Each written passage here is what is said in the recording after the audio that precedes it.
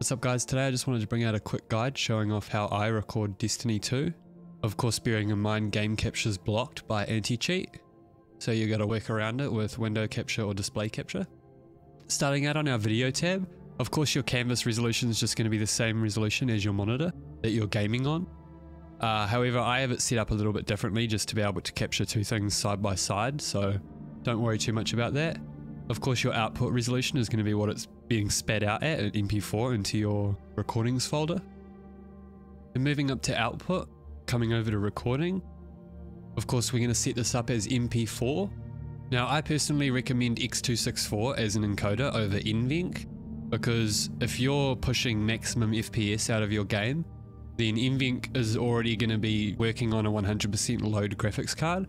So you're probably going to get quite a bit of in-game lag or at the very least recording lag. So we just go ahead and put that on X264. Coming down to rate control, we're going to go CBR with 25,000 gigabytes per second at 1080. But if you're playing 1440 at 60, then you want to raise this up to about 50k. Coming further down, we have keyframe at 2.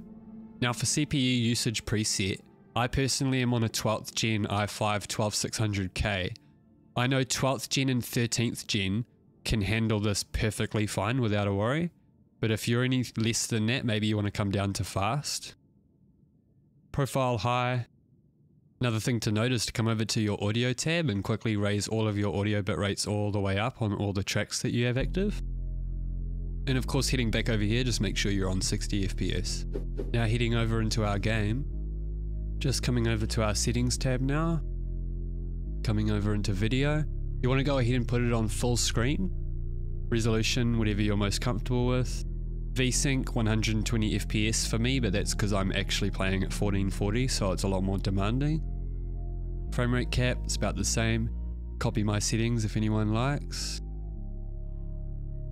Now bearing in mind over here on OBS, we are running display capture. It's going to be either display capture or window capture because of course game capture is blocked. But I've found display capture to be immensely better than window capture. If anything, window capture is just going to give you a lot of lag. Another thing to note is when you select display capture, make sure you go ahead and pick Windows 10.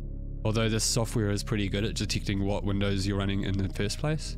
Recording and display capture is going to put a yellow border around your screen or any application that's being captured. It's just a built-in Windows security type thing. Uh, as far as I know, you can't get rid of it. You can't remove it no matter how hard you try. You just kind of have to deal with it, but it's not too bad, so it's quite easy to get around.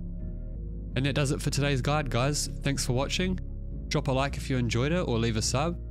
I'll see you in the next one. What in the fuck, dude? What is... This plate might not be the plate. No, it is. It definitely is. Forget the whole